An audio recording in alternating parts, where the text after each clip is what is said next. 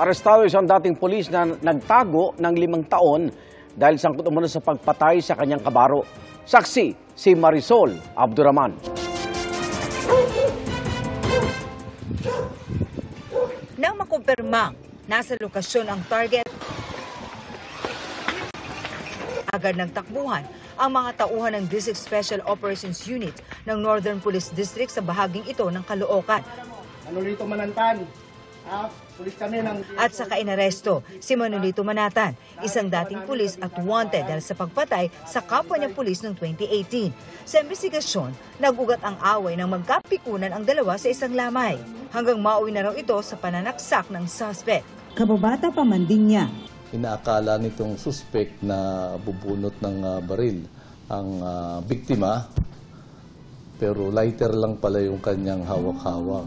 So, pinagsasaksak. Pero matapos dumapatay ng suspect ang biktima na si Corporal Joel Samonte, hindi na nakita pa ang suspect. Nagtago siya ng ah, limang taon ah, bago natin siya nadakip. Kinoconsider natin yung yung ah, security palagi ha, pag tayo ay ah, nag-ooperate, naghahanap, lalo na po sa mga insidente,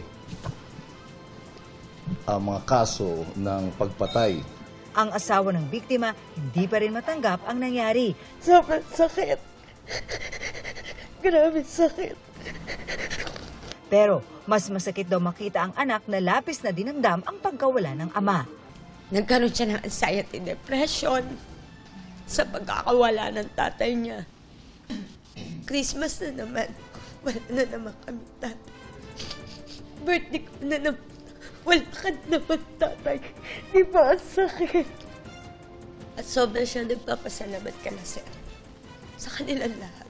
Talagang promise, ma'am, hindi nila ako tinigilan sa pagtulong sa Nakakulong na sa DSOU ang suspect na nagsabing hindi na raw iba sa kanya si Samonte. Hindi naman pong ibang tao magkumpare po kami, ma'am. Magkakatuwang hindi. Wala naman po, ma'am. Maaari po sa korte na lang, ma'am. Sa pagkakahuli sa suspect, uusad na ang kaso laban sa kanya. Umaasa naman ang mga kaanak ng biktima na makakamit nila ang hustisya. Para sa GMA Integrated News, ako si Marisol Abduraman, ang inyong saksi. Mga igan, samahan niyo kaming saksiyan ng mga balita. Mag-subscribe sa GMA Integrated News sa YouTube. Para sa mga kapuso abroad, samahan niyo kami sa GMA Pinoy TV at sa www.gmanews.tv.